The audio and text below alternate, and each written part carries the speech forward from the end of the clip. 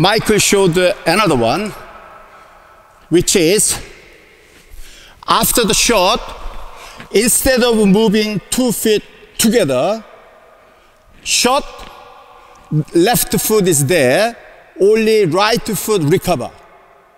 So left foot is still there, so his position didn't change. So he's actually still in the same place.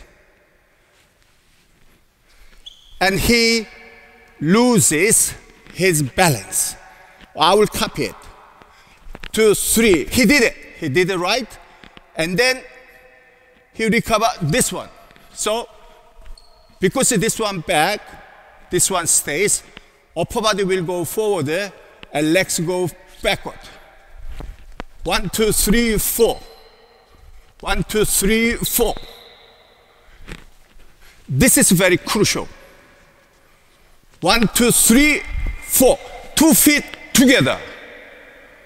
From top, my hair to toe should be one piece and move exactly together. One, two, three, four. Three, four. Not one, two, three, four. Okay. Now, can you change it to the right way, two feet together? Go. Two, three, four. Yes. One more. One, two, three, four. Wrong way. One, two, three. Yes. Very good. You can see the difference noticeably.